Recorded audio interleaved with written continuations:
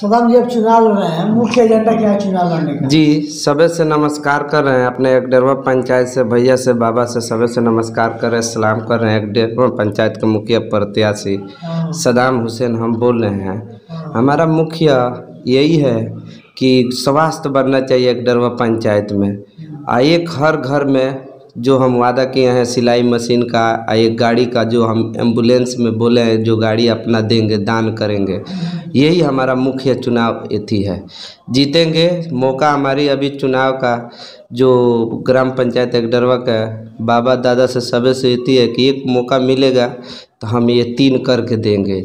जो पाँच कट्ठा अपना ज़मीन दान किए हैं आ एक अपना स्कॉर्पियो दान किए हैं एंबुलेंस में। तो जीतने के बाद दीजिएगा। जी जीतने के बाद ये देंगे। आ तीसरा जो हर घर में एक एक सिलाई मशीन है हाँ, जो वादा किए हैं वो पूरा हर घर में हर घर में एक एक लड़की को देंगे। चाहे जिसकी लड़की हो चाहे नहीं हो हर घर में एक एक लड़की को सिलाई मशीन देंगे।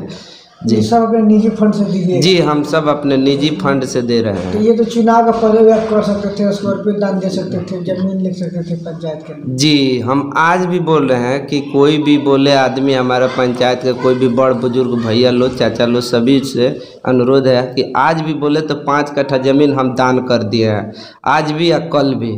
आ, अपना गाड़ी जो वादा किए हैं ये पूरा कर दिए हैं। एंबुलेंस में दे दिया तीसरा है ये मुद्दा कि हम जीतेंगे तो हर घर में एक एक सिलाई मशीन अपनी बहन बेटी पतों का सबको दे।